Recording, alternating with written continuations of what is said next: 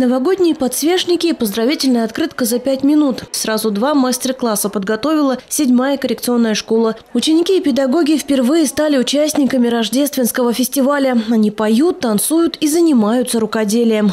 Совместное творчество, ведь это как толчок чтобы они смогли этим заниматься дома. Этот фестиваль был придуман для семей, в которых воспитывают детей со статусом УВЗ и инвалидов. Совместное творчество, говорят организаторы, делает их дружнее. Участники это подтверждают. Вот мы сейчас после концерта в кафе пойдем, вся семья. Все номера прям вот настолько в точку и в сердце попадали, поэтому жюри, конечно, было очень сложно, более 40 номеров нам пришлось отсмотреть. Сегодня на сцену выходят дети разного возраста, каждый со своей особенностью.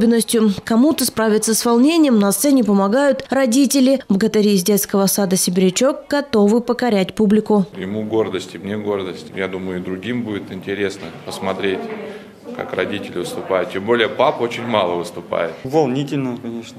Сердечко-то подстукивало. Вокал, хореография, декоративно-прикладное творчество, художественное слово и оригинальный жанр. Два дня жюри смотрели номера участников. Отборочный этап проходил на базе «Дельфинчика». Это начало очень хорошее, потому что сегодня на сцене будут именно семейные номера семейного творчества. В этом году к участию в фестивале присоединились 7 и 12 школы, а также образовательные организации, в которых обучаются дети с ограниченными возможностями здоровья. На свете нет ничего звонче детских голосов, приятнее детской улыбки. Нет ничего мягче детской ладошки. И нет более счастливой поры, чем детство.